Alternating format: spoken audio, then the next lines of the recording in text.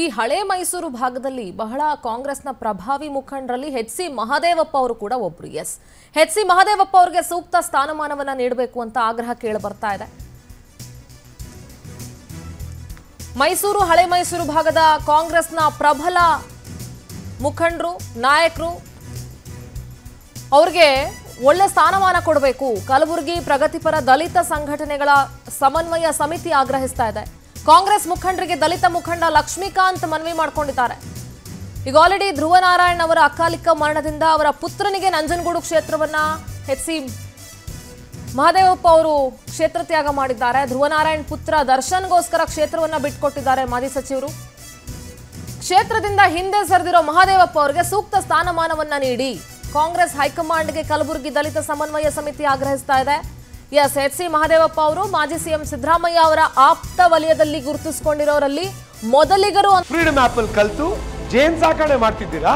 ಹಾಗಾದ್ರೆ ನಿಮ್ಮ ಜೇನ್ ತುಪ್ಪವನ್ನ ಒಂದು ಕೋಟಿಗೂ ಹೆಚ್ಚು ಫ್ರೀಡಮ್ ಆಪ್ ಬಳಕೆದಾರರಿಗೆ ಯಾವುದೇ ಖರ್ಚಿಲ್ಲದೆ ಮಾರಾಟ ಮಾಡಿ. ಅಂತ ಹೇಳಿದ್ರೆ ತಪ್ಪಾಗೋದಿಲ್ಲ. ನಂಜನಗೂಡಿಂದ ಸ್ಪರ್ಧಿಸಬೇಕು ಅಂತ ಹೇಳಿ ಎಚ್ ಸಿ ಮಹದೇವಪ್ಪ ಅವರು ಅಂದ್ಕೊಂಡಿದ್ರು.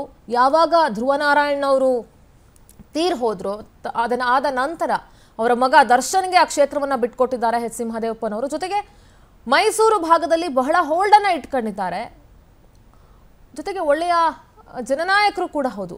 ತಾವು ಸಚಿವರಾಗಿದ್ದಾಗ, ಕಾಂಗ್ರೆಸ್ ಸರ್ಕಾರ ಇದ್ದಾಗ ಸಿದ್ದರಾಮಯ್ಯನವರ ಕಾಲದಲ್ಲಿ ಸಿದ್ದರಾಮಯ್ಯವರ ಆಪ್ತ ವಲಯದಲ್ಲಿ ಗುರುತಿಸ್ಕೊಂಡಿದ್ರು. ಸಾಕಷ್ಟು ಹೆಸರು ಮಾಡಿದ್ದಾರೆ. ಜೊತೆಗೆ ಸಾಕಷ್ಟು ಕಾರ್ಯಕ್ರಮಗಳನ್ನು ಕೂಡ ನೀಡಿದ್ದಾರೆ. ಸೊ, ಅಂತ ಎಚ್ ಸಿ ಮಹದೇವಪ್ಪ ಅವರಿಗೆ ಪಕ್ಷದಲ್ಲಿ ಸೂಕ್ತ ಸ್ಥಾನಮಾನ ನೀಡಬೇಕು ಅಂತ ಹೇಳಿ ಕಾಂಗ್ರೆಸ್ ಮುಖಂಡರಿಗೆ ದಲಿತ ಮುಖಂಡ ಲಕ್ಷ್ಮೀಕಾಂತ್ ಮನವಿ ಮಾಡಿಕೊಂಡಿದ್ದಾರೆ.